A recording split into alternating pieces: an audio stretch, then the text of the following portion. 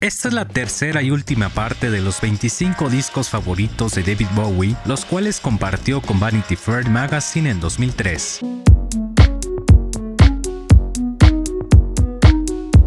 Comprado en Zurich, Suiza, fue una compra impulsiva. La portada me atrapó. Robert Longo hizo la que es esencialmente la mejor portada de los 80, y más allá dirían algunos. Misteriosa en el sentido religioso, angustia renacentista vestida de mugger, y en el interior bueno, lo que al principio suena a disonancia pronto se asimila con las posibilidades de armónicos de las guitarras. No se trata exactamente de minimalismo, a diferencia de la Monte Young y su trabajo con el sistema armónico. Branca utiliza los armónicos producidos por la vibración de una cuerda de guitarra. Amplificado y reproducido por muchas guitarras simultáneamente, se obtiene un efecto parecido al zumbido de los monjes budistas tibetanos, pero mucho más fuerte. Dos músicos clave en la banda de Branca era el futuro compositor David Rosenblum y Lee Rinaldo, figura fundadora junto a Tristan Moore en los grandes Sonic Youth. Con los años Branca se hizo aún más ruidoso y complejo, pero aquí en la canción que da título al disco su manifiesto ya está completo.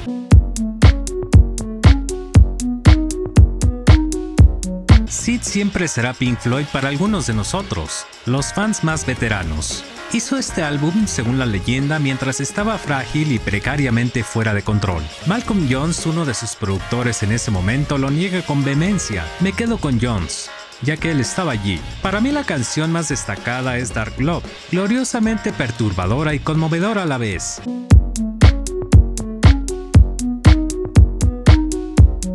Comprado en Nueva York a mediados de los años 70, probablemente una de las únicas piezas de concierto inspiradas en la guerra de Vietnam, pero también es un estudio sobre la aniquilación espiritual.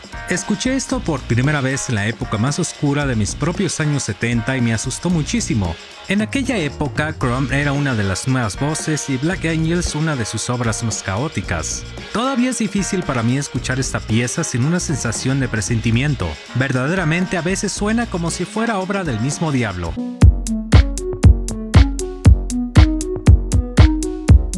Si te consideras un loco por el reggae, tendrás esto, por supuesto. Toots Hibbert me conquistó con su poderosa contribución Precious Drop en el soundtrack de Harder Tricom a principios de los años 70. Luego siguió este disco fantástico y verdaderamente funky 1973. Yo vivía en una calle del aburguesado Walk de Londres, y por primera vez empecé a recibir quejas de los vecinos por el volumen al que ponía mis discos, siendo esta belleza la culpable.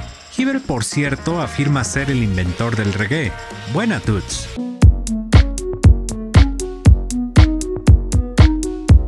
Comparado en Londres, recuerdo vagamente la primera vez que oí hablar de este tipo. Creo que fue Tony Visconti, mi productor, que me dio la pista. Arch, una especie de loco y sin duda un vagabundo, se dedicó a inventar y fabricar docenas de instrumentos extraordinarios. Delusion representa la mejor visión de lo que Bart llegó a ser, a veces espeluznante y otra rockero, habiendo elegido un camino musical que se apartaba de los compositores convencionales. Sentó las bases para gente como Terry Riley y Lamonte Young.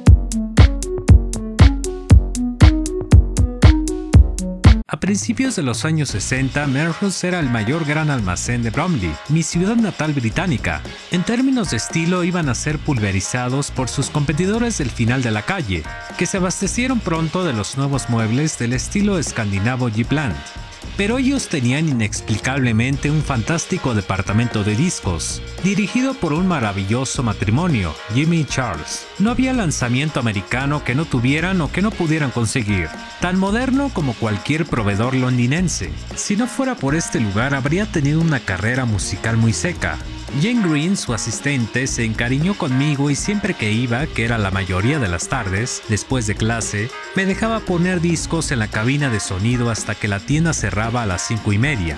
Jane solía acompañarnos y nos besábamos a lo grande al son de Ray Charles o Eddie Cochran. Esto era muy excitante, ya que solo tenía unos 13 o 14 años y ella unos 17, mi primera mujer mayor. Charles me dejaba comparar con grandes descuentos, lo que me permitió hacerme una fabulosa colección durante los dos o tres años que frecuenté esta tienda. Días felices. Jimmy, el socio más joven, me recomendó este disco de Mingus un día de 1961. Perdí mi copia original, pero he seguido comprando la copia a lo largo de los años. ya que esto se reeditaba una y otra vez.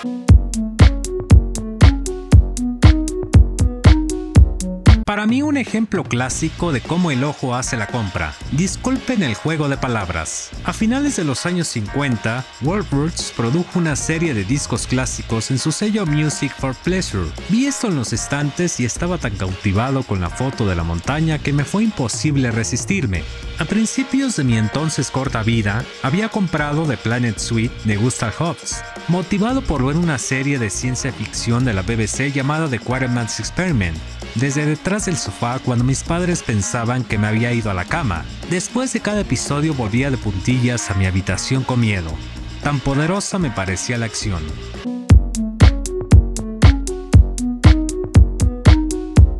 Las notas de la portada fueron escritas por René Gisberg y contienen estas líneas perennes pero proféticas. ¿Quién está del otro lado? ¿Gente que piensa que somos malos? ¿El otro bando? No, no hagamos de esto una guerra. Nos destruirán a todos. Seguiremos sufriendo hasta morir si tomamos la puerta de la guerra. Encontré en internet el texto de un anuncio impreso de los Fox, que junto con Velvet Underground tocaron en April Fool's Dance and Models World en Village Gate en 1966. El FBI los tenía como The Fox. Esta fue seguramente una de las bandas underground más explosivas líricamente de la historia. No eran los mejores músicos del mundo, pero ¿qué tan punk era todo eso? Tully Comperford, co-guionista e intérprete de Fox, en colaboración con Ed Sanders, acaba de terminar el nuevo disco de Fox mientras escribo.